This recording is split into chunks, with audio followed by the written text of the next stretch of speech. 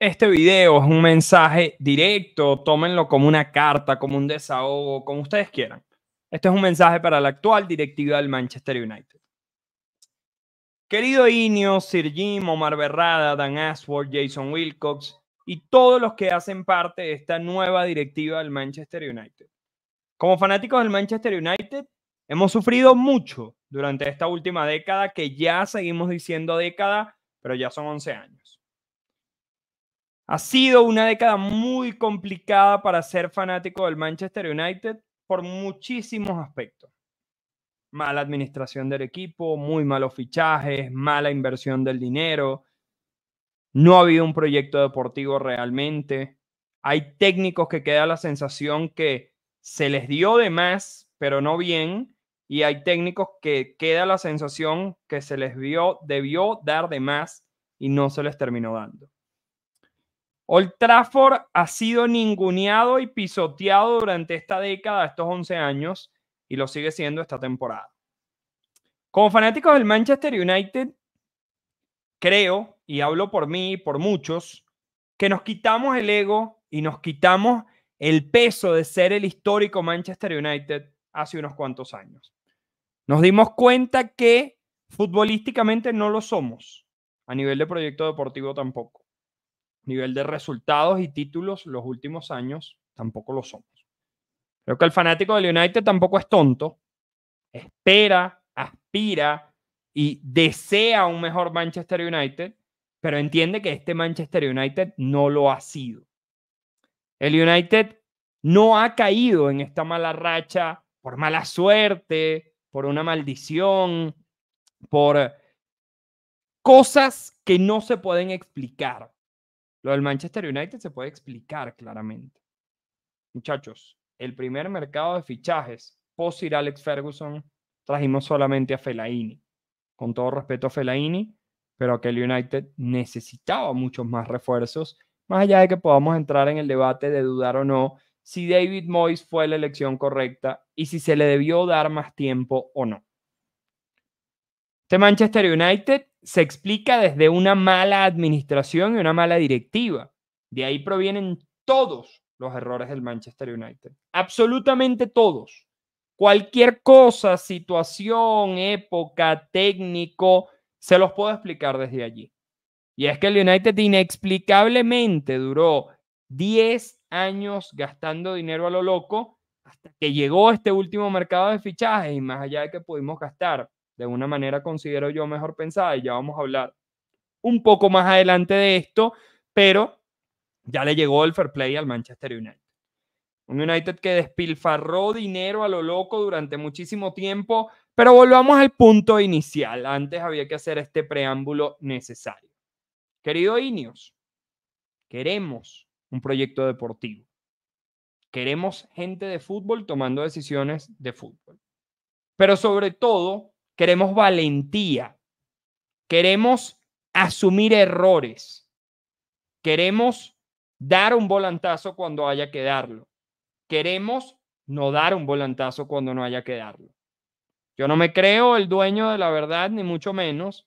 Y más allá de que considero que Eric Ten Hag no debe ser el director técnico del Manchester United esta temporada, no debió arrancar la temporada, ni mucho menos debería continuar, esta nueva directiva así lo está determinando y tendrán sus motivos. Serán económicos, serán por falta de opciones, serán porque no ven a Van Nistelrooy preparado y es la única opción. No sé cuáles son esos motivos porque no estoy adentro del Manchester United para conocerlos. Yo con esta directiva les prometo que voy a tener paciencia, pero quiero ver progreso. Y progreso no solamente se ve en la cancha. Yo considero que el primer mercado de fichajes de Ineos fue bueno. No voy a decir extraordinario, pero sí me parece que fue bueno tomando en cuenta los fichajes y salidas. Yo considero que la directiva del Manchester United hoy día es excelente. No les voy a decir buena, esa sí me parece excelente. Yo considero que los planes del nuevo Old Trafford son extraordinarios porque es exactamente lo que necesita el Manchester United. Yo considero que lo que se va a hacer y se está haciendo con Carrington es necesario para este Manchester United. También considero que se han tomado decisiones que no son muy correctas, que ya se las he comentado en este espacio.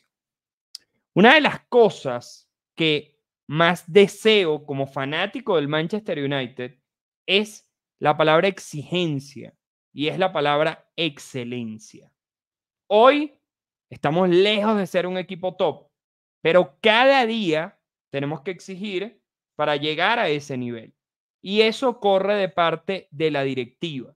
Si Eric Ten Hag se va a quedar, que se le exija cada día más y cada partido más. Y si hay que ponerle un ultimátum, hacerlo, porque estar en el Manchester United no es algo que llega por suerte, tiene que ser un privilegio y eso se ha perdido mucho durante la última década. Ineos, directiva del Manchester United. Queremos un Manchester United que luche cada partido, pero sobre todo que sea competitivo, porque luchar suena muy sudamericano y muy de garra, muy de potrero. Y yo no nada más quiero eso. Yo quiero un United con fútbol y con idea, pero sobre todo, y lo digo con el corazón genuinamente en la mano, quiero un Manchester United con el cual yo me sienta identificado, gane, pierda o empate. Sentir esa identificación con el club, una identificación que como fanáticos del Manchester United hemos perdido y no la vamos a recuperar hasta que no se la gane el equipo y el proyecto. Porque esto es un tema de sensación, no de decisión. Yo no decido sentirme conectado o no con el equipo. Yo me siento o no me siento conectado.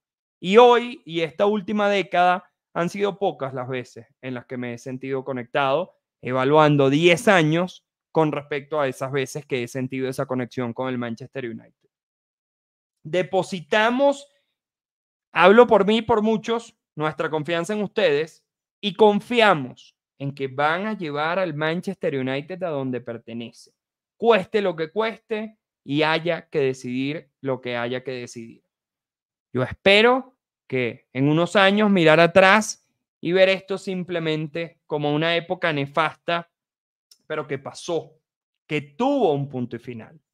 De eso van a ser responsables ustedes, los que toman las decisiones no solamente del director técnico, sino también de los jugadores, y hacia dónde va dirigido el proyecto deportivo del que llamamos durante mucho tiempo, desde el mes de diciembre, enero, febrero, y desde que tomaron control futbolístico del Manchester United, el nuevo Manchester United.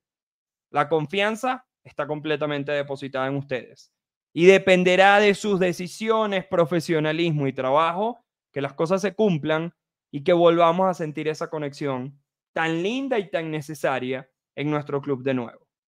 Querido Ineos, en sus manos encomendamos a nuestro Manchester United. Confianza total de mi parte, pero por favor, de corazón, no nos defrauden.